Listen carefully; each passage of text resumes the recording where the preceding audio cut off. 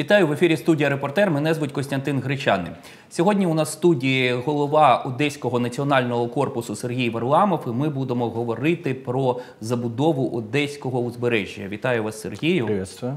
Е, Хочеться про цю проблему поговорити і комплексно, але в той же час і про конкретні локації. Я знаю, що, хоч це і не Одеса, але давайте будемо ну, вважати, фонтанка це теж частина одеського узбережжя. Е, Сосновий берег. Ви проводили багато акцій. Е, Яка там зараз ситуація? І взагалі, от як стала можлива забудова в тому районі?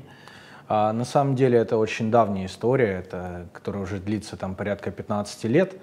А, рассказывать, в принципе, все очень долго, но если коротко, смысл такой, Ну, что... Нагадати нашим глядачам, я думаю, Э, що багато з них Смысл такой, что э, этот участок э, отдали э, компании «Сосновый э, берег», э, хотя э, до этого это был, по-моему, «Золотые ворота», если не ошибаюсь там. Но суть такая, что они, там ряд людей инвестировали средства э, в то, чтобы облагородить данную территорию. Э, И сегодня, в принципе, э, вся вот э, часть людей, которые там проживают, главным их аргументом а, по поводу того, что они закрыли там километры пляжей а, и отгородились от э, обычных э, граждан, украинцев, одесситов, а, главным аргументом является то, что они облагородили территорию.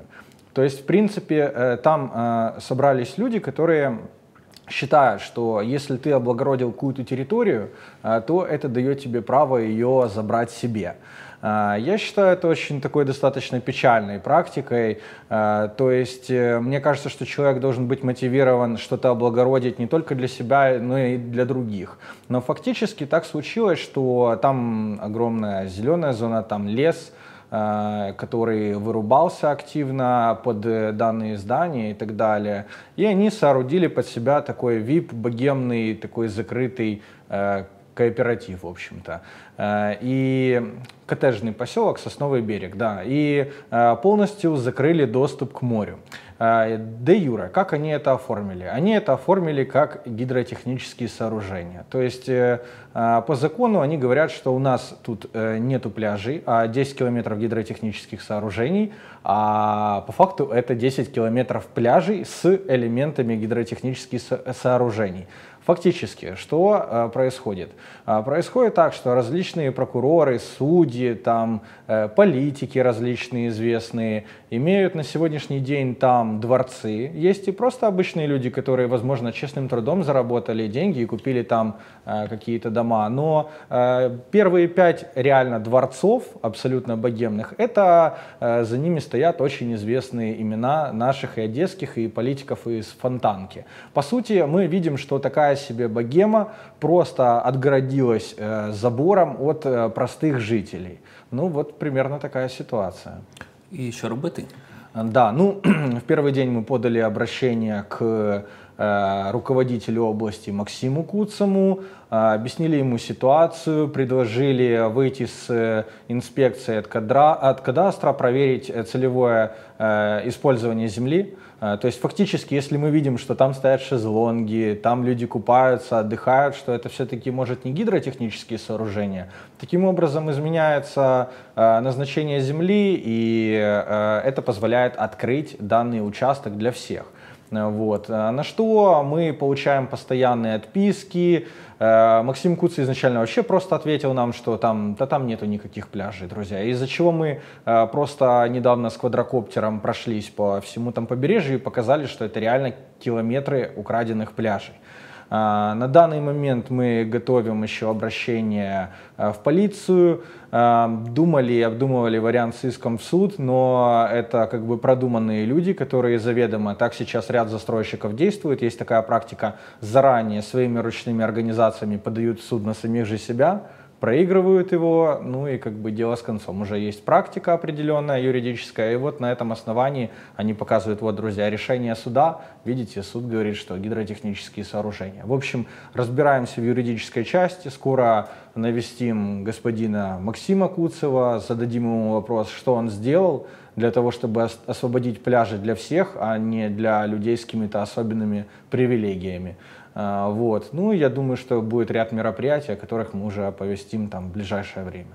На вашу думку, забудовник діє з е, мовчазної згоди обласної е, влади нашої, чи е, все-таки ну, й- має місце просто певний ні- нігілізм е, обласної влади тієї ж? Ну, э, тут Вони на не хочуть просто втручатися в певні конфлікти, чи вони є, е, скажімо так, е, опосередковано е, стороною цього кон- е, конфлікту? Э, На самом деле э, там живут очень разные люди, Очень интересные люди, влиятельные там и в нашем городе, в области, даже в стране. А, Поэтому я боюсь, что у руководителей области просто не хватает духа этим заняться. Ну, это первое.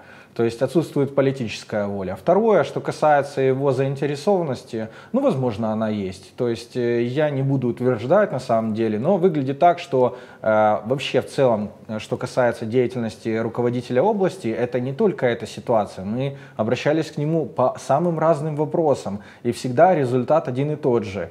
И мы просто, э, ну, я не знаю, делаем вывод, что человек не собирается решать вообще хоть какие-либо проблемы. Я не видел ни одного какого-то его решения, хоть какой-либо проблемы, хоть чего-то. Причем мы к нему обращались самыми разными вещами, начиная от там жестокого обращения с животными, там наших э, одесских дельфинариях, условно говоря, вот заканчивая застройкой побережья, хотя он и сам э, в феврале месяце э, этого года обратился к руководителям э, администрации местных э, для того, чтобы они обеспечили свободный доступ. Ну, мы подумали, окей, ну, может быть, человек действительно хочет обеспечить доступ. Вышел новый закон э, год назад, да, который э, ввел новые определенные нормы э, эксплуатации пляжей и э, урегулировал эту сферу. А, Думали, что есть такая политическая воля, есть такое желание, возможно, оно даже шло на тот момент с Киева, но оно быстро прекратилось э, и угасло, и мы видим, что человек просто не собирается ничем заниматься, к сожалению. Проблема забудови узбережжя вона вкрай гостра і для нашого міста безпосередньо. Так Е, на вашу думку, як її можна комплексно вирішити? Адже з'являються і тимчасові споруди, і великі споруди. Ми знаємо, що ті ж гідротехнічні е, е, споруди, ті ж пірси, наприклад, використовуються клубами, орендаторами як торгові площі, фактично, як територія, на яку на якій вони надають послуги. От що з у цим цим всім всім робити, як навести лад? Ну, для начала нужно сказать, конечно, что для этого нужна политическая воля руководства города, а, потому что нас все любят пенять на то, что не хватает полномочий, а, не хватает прав, э, там, на Киев и так далее. На самом деле органов местного самоуправления на сегодняшний день достаточно инструментов для того, чтобы навести порядок на пляже. Э, Другое дело, что там их э, множество различных органов, э, и попросту в каком-то смысле там хаос, но я не вижу желания у руководства города навести порядок. Объективно, тут вопрос, конечно, в том, он и касается вообще и застройки хаотичной города, и, ну, то есть не только пляжей, а вообще. Он касается видения и концепта э, развития нашего города со стороны, э, условно говоря, наших э, архитекторов, то есть э, людей, которые м, реально влияют на политические процессы в городе э, и выстраивают стратегию его развития. Э, Я это к тому, что, э, судя по всему, ну, я не думаю, что сидят люди и заведомо хотят просто разрушить Одессу, условно говоря, эти наши застройщики и так далее. Я предполагаю, что, возможно, они считают это красивым, то, что они делают. А Я считаю это уродливым, ну, реально. И э, я знаю, что взят курс на такой себе, на построение такого себе Лас-Вегаса, условно говоря, в Одессе, но наша экосистема, э, которая сложилась в городе, э, наша там э, сейсмическая ситуация, склоны, особенности города, катакомбы, подземные озера, они не позволяют делать с городом то, что сегодня делают наши застройщики. Именно поэтому, например, я бы хотел видеть наш город, например, как древние европейские города, которые сохранили свою аутентичность в виде, там, допустим, Савоны или Флоренции, там, где э, не строят новые здания, там полностью сохранен, э, сохранен исторический э, аутентичный ансамбль города. И за счет этого они привлекают огромное количество туристов, наполняют местный бюджет. И поэтому, я думаю, нам надо двигаться в этом направлении. Что касается юридических э, нюансов, касательно побережья. На сегодняшний день действуют правила эксплуатации пляжей 2007 года, которые уже являются неконституционными, они соответствуют нормам действующего законодательства, и, по сути, если их сегодня отменить, Э, получится так, что все сооружения, которые, большинство сооружений, которые находятся на одесских пляжах, они окажутся незаконными. Э, другая часть э, – это капитальные сооружения, которые были узаконены до 2000, если не ошибаюсь, 2005 года. Тогда это было возможно. Однако у городского совета есть опция по возврату в собственность города, той или иной частной собственности. Есть такая практика. И вот этими двумя інструментаріями можна попросту взяти і очистити все побережжя. Це реально. А ті, які були узаконені вже після 2005 року. Ми ж пам'ятаємо, наприклад, історію з тим же Портофіно, де да. строїлось, будувалася гідротехнічна споруда, а виявився триповерховий клуб. Да. От зараз яхт-клуб ми бачимо там по проєкту, який буде яхт-клуб у е, лапках, да, в там поруч на в кінці Аркадії. Угу. От, ну от що з цим робити? Воно ж воно ж не відразу стає капітальним. Да, но не сразу стает капитальным, действительно. То есть на тот момент, пока оно не капитальное, это временное сооружение, оно подлежит демонтажу в случае, если оно не является капитальным и если они его не приватизировали. То есть, соответственно, эти правила, они сегодня, это та шаткая конструкция юридическая, которая позволяет всему этому хаосу происходить. Одно решение сессии городского совета по отмене правил позволит вот просто э, ну, даст весь инструментарий городу для того, чтобы это все убрать.